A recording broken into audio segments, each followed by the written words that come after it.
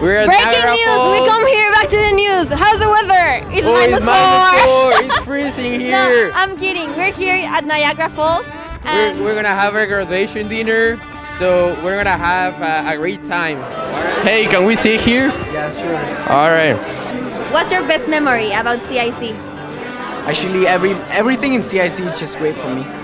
What thing have you liked the most?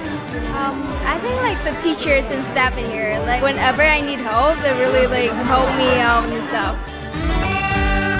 So, what's the chef recommendation for today? roast beef, la- el pollo, el pene alfredo. All right, penne. All right. What else they're serving?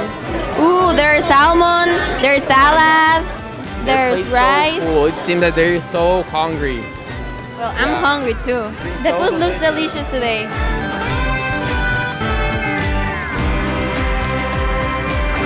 They are giving some prizes out, and let's see who's the winner. Hey, what's your name? Grace, What did you win? Beth, And how do you feel about that? uh, surprise. Surprise? Did you like it? Looks like we have some. She liked it.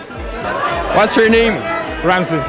And what did you win? Uh, backpack, of course. Yeah. Well, enjoy your prize. I have been to every single grad dinner that we've ever had in the school. And what makes it different this year?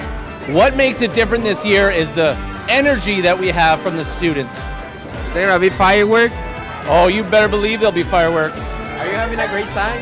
Yes, of course. I love your dress. It's so shiny. Thank you. Are you are you happy because you're going to see fireworks? Yes, I'm waiting for this moment. Fireworks! We got